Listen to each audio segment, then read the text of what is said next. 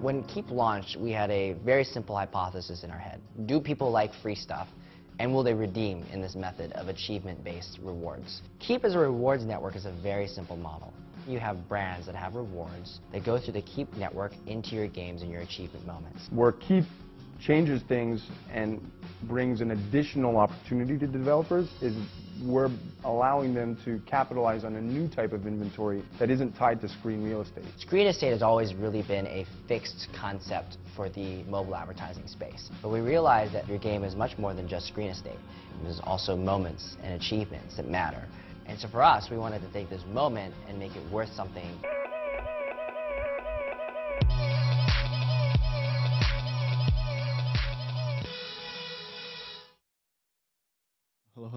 Okay, so our next speaker is Courtney uh, Guertin.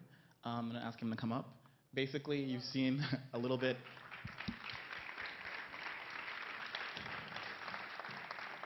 in the video about uh, what his company does, but I wanted to tell you guys a little bit about Courtney himself.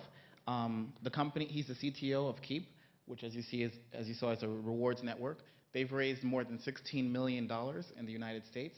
Um, so they have a bit of cash, and that means that they're probably doing something well because they've been able to convince quite a few investors um, to take a big bet on them. His business partner, Brian Wong, that you guys saw in the video, is a teen, or he was a teenage entrepreneur that raised, uh, helped to raise $300,000 for the company when he was still just 19, becoming the youngest ever founder to receive venture investments. Um, and they met while they were working at Digg, which I think most of us know about, which is a social news website that's raised over more than $45 million in the United States from some of Silicon Valley's leading investors like Marc Andreessen, Ron Conway, and Greylock Partners. So with that, I'll pass it to Courtney. All right. Well, thanks so much for having me. It's my first time to Spain. It's uh, been pretty an amazing couple days, and uh, very honored to be here and talk to you today. Um, today I'm going to talk to you about the power of engagement and emotion in gaming. And there's a lot here. Uh, first, though, there we go. Tell you a little bit about myself. My name is Courtney Guertin. I'm from San Francisco, California, originally from Minnesota. Um, that's my Twitter name, pretty much everywhere online, GitHub, etc. You can find me there. Uh, I like to create things. Um, I've always been a creator. I've always been fascinated by science and technology in the future. My entire teenage years was pretty much reading popular science and The Wired. It's probably one of the main reasons I'm an engineer today. I get an incredible feeling from creating something out of nothing. Like much of you with a game, you have an idea. This is the clean slate. You start putting some pieces together. You get the sense of achievement as uh, you know bits are moving across the screen, and you know you're able to, to, to kill an enemy or things like that. It's uh, definitely an adventure. Some of the things that I've worked on, uh, again, he mentioned Digg. Uh, worked there. It's when I moved out to California. Um, created the 8-bit avatar thing. I don't know if you used Twitter last year. It was kind of popular there. Um, it was a lot of fun. I love fashion and style and curation. Did a project called Follow Style.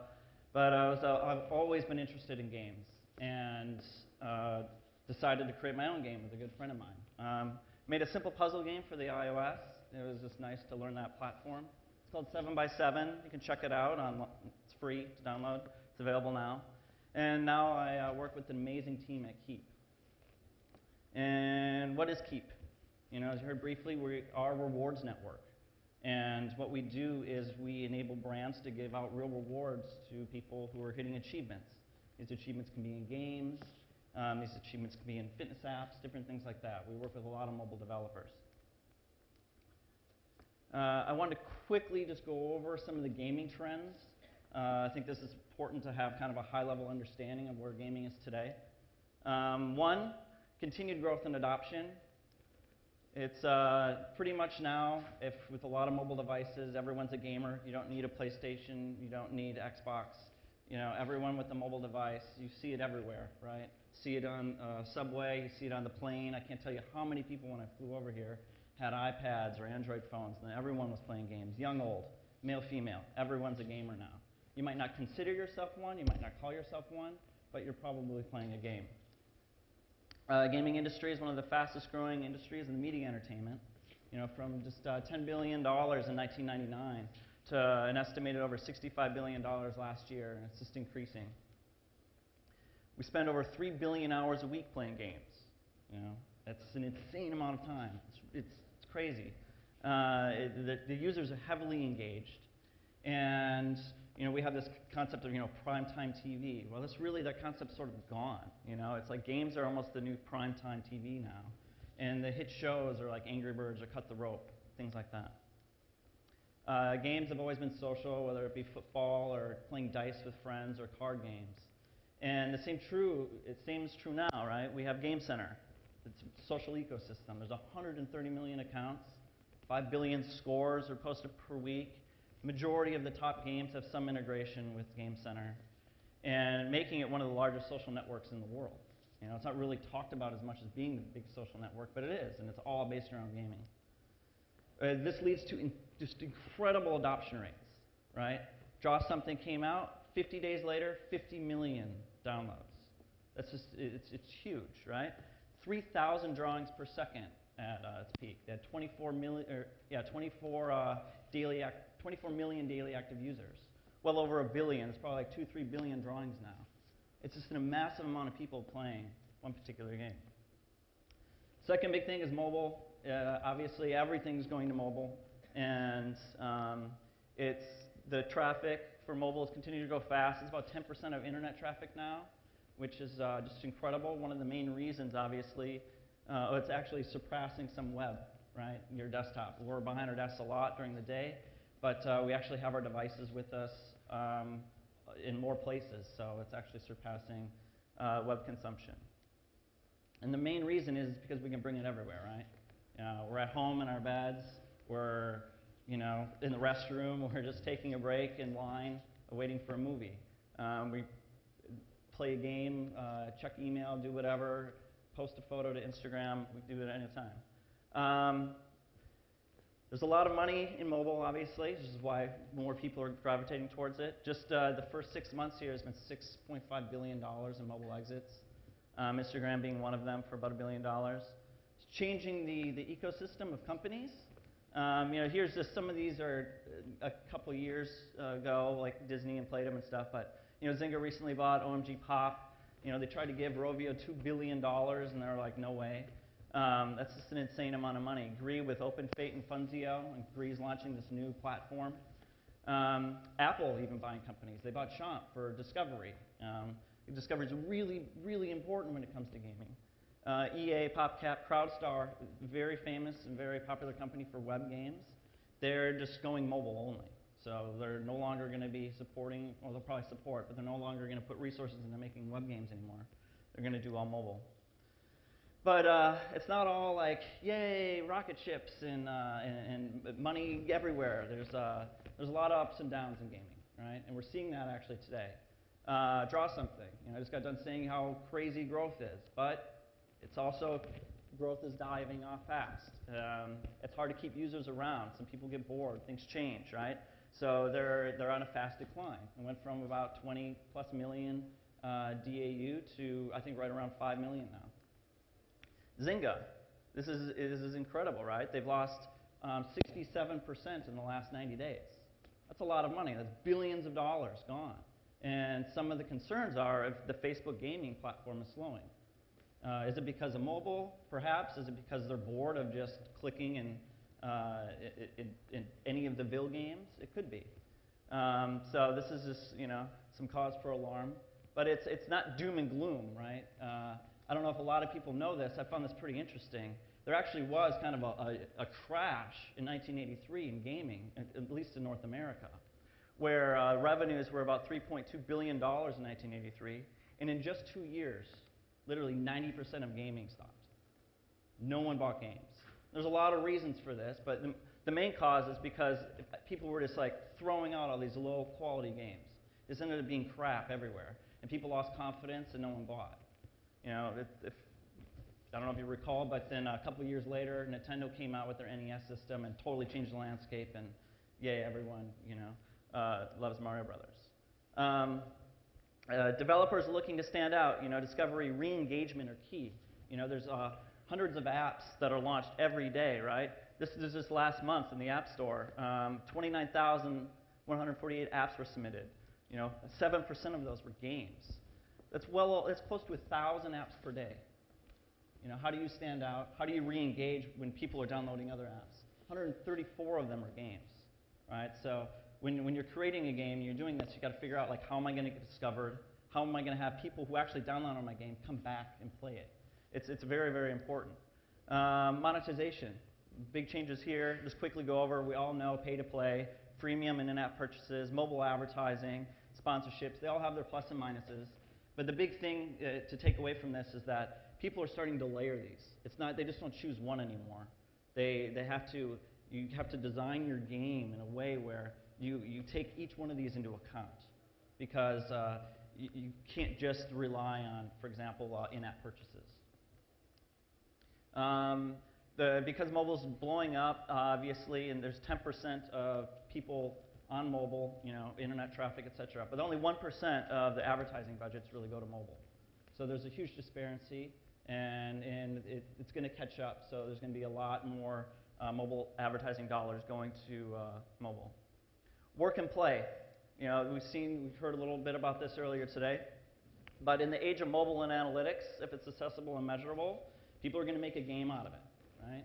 Uh, the work and play is really being blurred. And few main reasons why this is happening is because it influences behavior. It does motivate us. Um, a big thing here, I don't know if this is big in the States here, uh, it's called Nike, uh, Nike Plus, and it's Nike Fit, right? It's the fuel band. I wear one, I, I love it. Um, I'm still going to run, I like to work out, but now I can measure my actions. So now every day I go, all right, did I, did I hit my goal, my Nike fuel points? Did I get 2,000 points, 3,000 points? I can compete with my friends. So I'm still, people are still going to be active, right? It's not that they're only being active because of this device, but because they give it a point system, because it's measured, I can, uh, it, it ends up becoming a game. And I mean, and, and it does influence behavior. So it resets every night at midnight, right? And if I don't hit my goal, I'm like doing jumping jacks at 11:30 p.m. in my room. I mean, it's just silly, but it's just what I do. Education's being uh, changed quite a bit, obviously. You know, you level up in class instead of just getting a midterm grade or a final grade. You can level up throughout class. Uh, there's a lot of different studies. A lot of people are experimenting this, with this. Good results. Changing in the enterprise workplace. We see, you know, people applying games there. Social. It's not now that you just send out a tweet or whatever. It's how many retweets did you get? How many likes did you get? And then there's companies that give you a score. And it's, it's kind of crazy. You were like, all right, I really don't care. But now that score will get you something. Right? If you're in San Francisco and you have a good Klout score, you get uh, free access to um, the good lounges, right? Free drinks, etc. So it, it's, it's, it's almost like a status thing. It's like you got an achievement because you're really good at social. It, it, it's interesting how it, uh, you, you start gamifying just your normal actions and how it changes people's behavior. Games on games. You know, it's no longer you just watch a game. You got to play a game about the game when you're at the game. So, you know, if uh, you, Heineken came out with this app, there's a lot of other games out there that do this, you know. You, you, we do it all the time. We're like, oh, I bet he's going to miss, and then you'll miss. But now you can actually make a game out of it because it's measured. You can say, all right, I'm going to bet you 5,000 points that he's totally going to miss, and your friend will bet you, and whoever wins, wins. And, you know, fantasy sports is huge in America. I don't know how big it is here. But, uh, you know, millions of people are participating, and um, it's about a three to four billion dollar economic impact every year right? Uh, you know, lose weight, get points. It, it, it, works, right? Weight Watchers is still around. The Company's been around for a long time. One of the main reasons is because they give you points, right? You can track it, measure it. Uh, recycling. Hey, I want you to recycle more. Let's, you know, make a make a game out of it, and people will do it. People still recycle. They feel good doing it. But now you can get some other things. So, but there's one common element in all this. Uh, it's basically every game has this element, and that's the achievement moment, right? So it's, uh, wow, this is a lot slower than, it's not supposed to just randomly, slowly going like that. But anyway, the achievement moment. Um, it's in every game. It's this moment of elation. You're just like excited, you know, hands up in the air, victory. I finally beat the boss. I did all this. happens billions of times per, uh, per day around all the world, eh, whether it be in games, whether it be in fitness, whether it be offline, it doesn't really matter. Achievements are happening everywhere. And it's, it is it is a special moment, and I think it's something that I, you know, I'll be talking a lot about in the rest of the talk. Oh no. Okay, good. All right. Um, let's face it, advertising. It, it, it sucks. Everyone, The attention is a commodity today, right? Everyone's trying to get you to look at their, their ad or use this product, even if it is just for a second. So, you know, whether it's taking up screen real estate or um, purchase intent and search, you know, hey, you search for this, buy, buy these four things. Uh, context matching, you know, contextual ads. You're looking at a car, here's an insurance, um, and offers and trials. But what uh, I think really matters are th- these moments. Um, it's the moments that when you're, you're highly engaged at something, that's the best time to, to engage with uh, someone who, a, a customer or a potential user. Now, we all have moments, right? Moments happen that are really important for us. A lot of people are graduating right now. So that, that's a moment in someone's life. Um, or like, you know, you, you're rowing, you, your, your team won the rowing competition. Um, a simple achievement. And everyone's seen this screen. You know, whether it took you two minutes to get this or it took you four hours, it is an achievement. It's something you're kind of stoked on, right? There's some delight. You know, they show you big stars, big high score, yay. Um, and it, with it becomes like when you level up, there's like some status things in games, and there's also this in real life. You know, Sky Miles, right? I want to be platinum.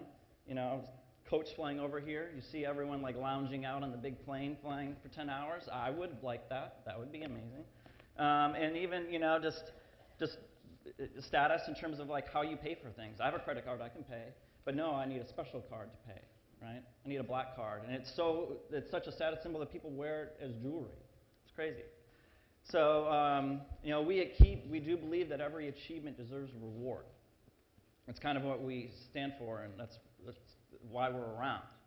And because uh, with each achievement, there is this sense of accomplishment, which brings emotion. When you have emotion in it, it's, it's, uh, it makes things more important. It, um, you actually have this value exchange, right? If I give, if, uh, if I'm able to give a reward to you at a time where you're really excited, there, there, it's like a thank you, right? It's, it's, I'm not forcing you to do anything. It's, it's, it's a, a reciprocal layer, and it can be very, very powerful. Um, I mean, we, it's, it's hard to love a, an ad, but at Kiip here, we actually get a lot of people, you know, thanking us. They're like, hey, thank you for this reward, right? So it's, it's easier to, to basically, you know, enjoy a reward, but it, it's hard to really enjoy ad. And, uh, you know, social gifting and gifting like this and, and, and uh, sharing your achievements and sharing what you've accomplished is very important here. And so we have the ability to gift our rewards, right? So let's just say I get makeup, because sometimes I might not know, you know, playing a device, uh, who this person is, male, female, right? Targeting, it can be difficult in mobile. But I can gift it, right? I might give it to my uh, girlfriend or give it to my mom. Um, and uh, I can send a little message. And we kind of did a little uh, word chart of, you know, uh, all the things that people are sharing, and love is actually the number one word. And that's, it, there's a lot of emotion there. And here's some of the uh, quotes that people are, have said. You know, it's like, hey, I love you. Here it is. I love you so much. I sent you this because you deserve it. You're awesome parents. Mean, these people were just playing games and they want a reward, and now they're like sharing that with their family. It's, it's, it is quite powerful. And they, they, uh, they remember that, right? And they'll email us and they'll email the game developer saying, thank you for this. So there is an emotional return on investment, so to speak. You know, um, there is, uh, you are surprising delight the, the user, and um, there's some social validation. So it's just being recognized, right? You, you work all day, and you work really hard on a project, and if no one says great job, you're just like, well, screw this. Why am I doing it? So, and and the same is for like apps, and the same thing is for just regular life, right? We need social validation, and uh, and we're here to kind of help that. Um, you know, your work has been recognized. There's memory, uh, you, you remember things. There's this cognizant uh, reaction where, like, you're going to remember that brand because they gave you something, right? You're not really going to remember that you saw that billboard. So, and it helps you being part of the conversation when you're being part of the moment. And uh, we kind of break things down at Kiip into this play framework, right? So there's this action layer where you know you're always playing these games, right? And you're you're you're running, you're running and running, and you're collecting things. And let's say you're collecting a bunch of uh, uh, boxes, and you know you collect 10 boxes, and now that's an achievement. And for that achievement, you might get a reward. And that's sort of where we're at. We're at kind of this rewards layer. But it's serendipitous, right? And what that really means is it's, it's random. you don't really know when you're going to get one, but you probably will get one at some time. And that's very, very powerful. You know, it's uh, serendipity versus expectation is big. Um, if, if you're going to, you want to do something out of the sake of doing it because you enjoy it. You're playing this game because you enjoy this game. You know, you're not getting to level 10 because you want a, a Starbucks or you want a coffee. You're doing it because you want to get to level 10. But if you suddenly get a reward for that, then you feel this, you know, satisfaction. And it ends up being kind of like this gamer crack, right? It's, it's a psychological thing of where you, you're like, whoa, I got that for that. Well, what happens if I do this? And then you keep on playing and you keep, you know, keep trying to solve more problems. Um, there's this windows of enhanced attention when you, when this, at this moment. There's this kind of a, uh, you might have heard of this study. It's it talked a lot about uh, when people talk about um, serendipity and things. But uh, there's this guy named uh, Skinner. I, don't, the, I had to tr- convert this into PowerPoint, so I apologize. But they, uh, uh, Skinner was this doctor in like 1948 in, in the Department of Psychology. He took pigeons and he put one of them, you know, pigeon one in a cage, and they would hit a lever, and out would come food. And every time they hit the lever, food would come. They took another set of pigeons and put them in a cage, and you know, every time they hit the lever, sometimes nothing would happen. You know, hit it a couple of times, oh, food would come, right? So it's random. And then, you know, after like uh, uh, doing this for a while, you know, pigeon A always getting something, pigeon B maybe two, three times, all right, there I get food. They stopped giving food, and see the behavior of each of each pigeon. Pigeon one, after a couple times, just stop. They're like, oh, lever's broken, food's done, I'm done. Pigeon two would continue hitting it up to the point of where it would just pass out. You know, 10,000 times. Because he doesn't know when the next one's going to come. And, and it's just this, we have this, and it's, it's ingrained in like humans and it's ingrained in animals and everything. There's this, like the psychology of serendipity. But it's not like we're just sitting there trying to, you know, make a machine out of everyone and doing all this. We're just this emotion. There's this go beyond the ad and go, you know, in the machine. Be human to someone, right? And that's just that's one thing that we try to strive for. And advertisers must understand uh, what the you know user and consumer are seeking because everyone's different. You know, you're different in, in what you're doing right now versus you know what they might be doing. And technology has given us choice. You know, we interact when and where we want to. We have this mobile phone. I can watch a movie right now. I can play a game. I can call a friend. I can you know check on them. I can do whatever. You know, we're, we're really in the, the world of do what you want when you want. Um, just some things about just being human. This is just, uh, you know, uh, I, I, thought this is pretty interesting. I was talking about the Nike Fuel Band to a friend. He was wondering if he should get it. I was like, yeah, you should definitely get it. You know, I'm doing jumping jacks at night, and uh, and Nike Fuel just reaches out and says, you know, hey, yeah, it, a nocturnal gym class workout that counts, right? They're they're, they're engaging with me. Makes the it makes this device a little bit more human. There was someone actually talking to me about it, and I thought that that's pretty powerful. This one's my, one of my favorites. This is my friend Kristen, right? She's, uh, she's was in Beverly Hills, California, setting hotel. She's like, tried to order grilled cheese. And she's like, no grilled cheese on the Beverly Wilshire room service menu. Other than that, I never want to leave. Well, Beverly Wilshire reached out with a reward and a thank you saying they actually gave her grilled cheese. They're like, no grilled cheese, no problem. They sent this up to her room. Didn't, you know, didn't ask for it. It was just like a nice little surprise, right? And uh, she, will remember this moment. She'll remember Wilshire because of this. And I even, I'm telling you now because of it. I thought it was very cool. It's reaching out. There's some human, human interaction there. Now, I'm, I'm an engineer, and I like to build things, so I wanted to kind of just talk to you about, like, you know, building a rewards network. What is that? How do you do that? What are the things that are in place with that? So, one, uh, serendipitous in real time. You know, these, these moments are fleeting. They're, they do not last long, right? You get an achievement, it's there for a second or two, and then it's gone. So you got to be fast. You got to know when the right moment to capture them, and uh, and it has to be highly scalable. There's millions of people are playing games. Billions of achievements are happening per day. We need to be able to track them, and uh, and we have to be able to scale. And it has to be obviously very easy to implement. Um, and the, this is very very important. It can never be annoying. So you know, no one wants to be annoyed.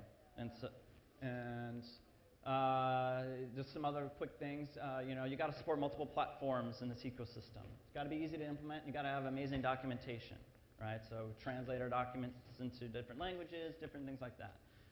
simple, but it's important. Um, organic behavior.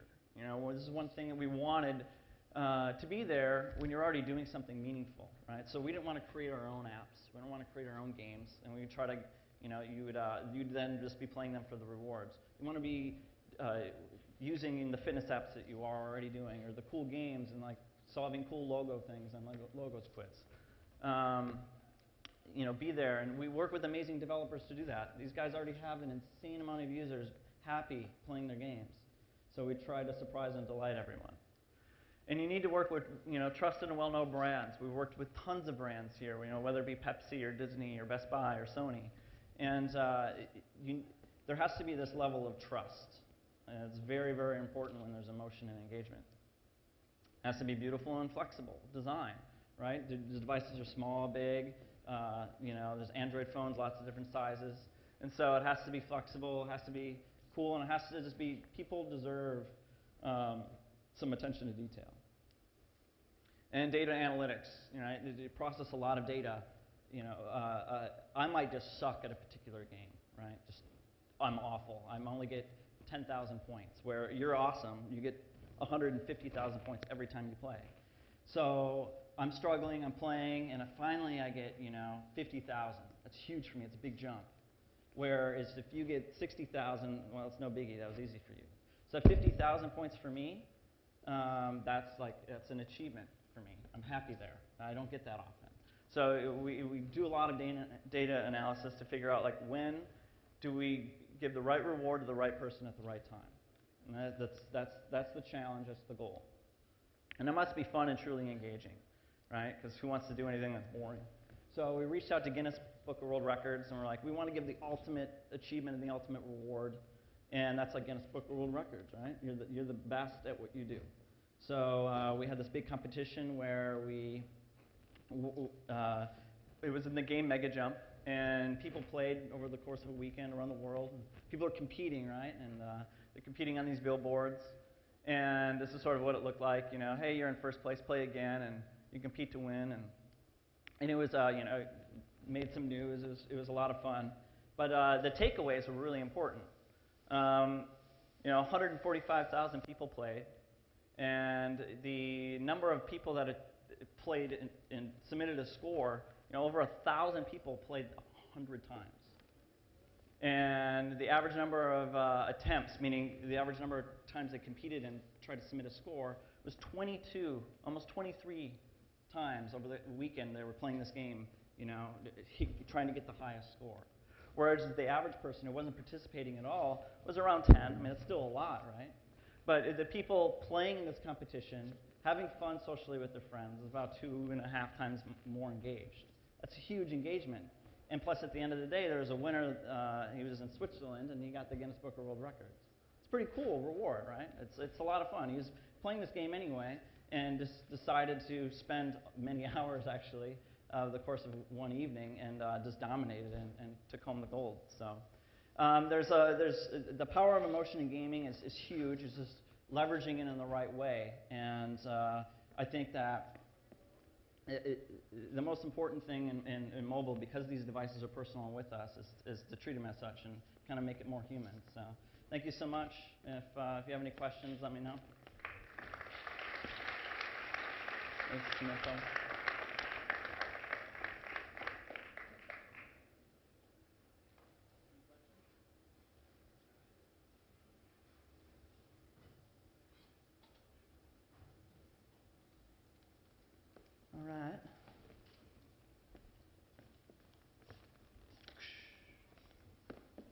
all good. All right. It looks. Oh, we have one over there. Over here. Hi. Hey. Um, in terms of uh, rewarding, is it better to, I mean, because you say it's like most of the times kind of a surprise. Mm-hmm. So is it better to tell them before they play so that they know they're Yeah, gonna could get. achieve something or just a Yeah, surprise so, and that's yeah, the way to I, uh, communicate?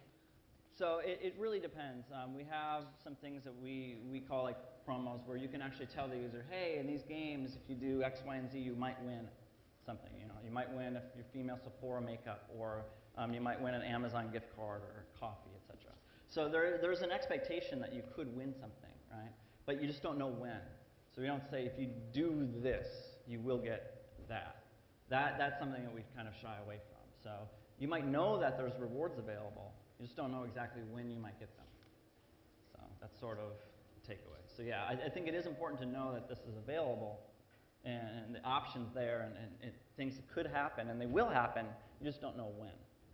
So yeah, because you have to know what challenges you should take to get some somewhere. It's not totally 100% out of the blue, but uh, there's just not this expectation of um, of I'm gonna get it right now, and that, that's that's what we try to shy away from. I think we have one question over here.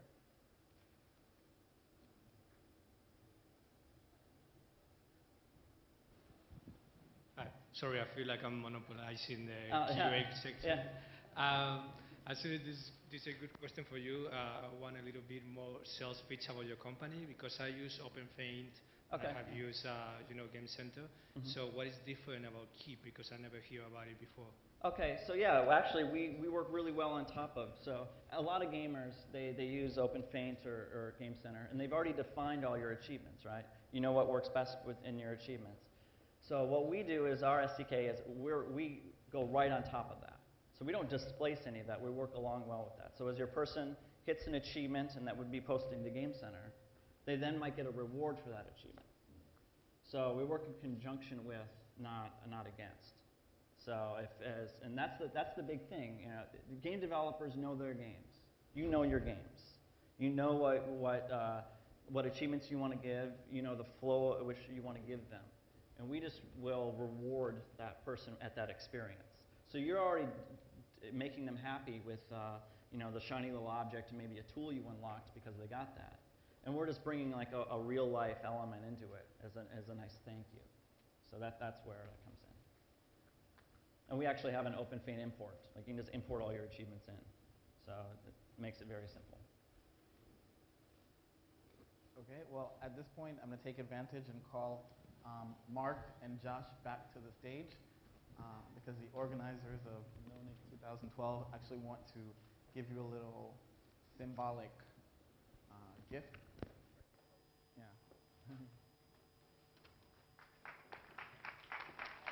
you guys take it.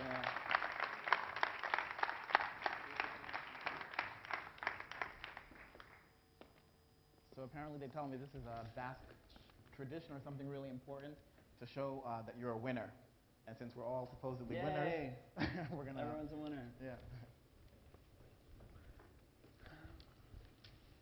Is it a hat? Yeah, it's a hat, and you actually have to take a picture with the hat on. One for each one. All right. One for each of you. Thank you. You can wear it. No, rock this all the time. So take the, It's called the txapela. Do you put your hair out or in? the front part. You can take there. No, no, no. No. Let me. I'm, I'm getting. Uh, Let me wait. That looks very good. Nice move for you guys. And then- Cameras over there. like We'll that? have, All right. uh, photo, please. Photo, photo, photo, photo, photo, please. Stand. Here, stay. Oh, Uh, we yes, got it's back up. back in the light. Just comment, does everyone rock these? Everyone have like four of these? In every color. In every color? Yeah. The Baba hat.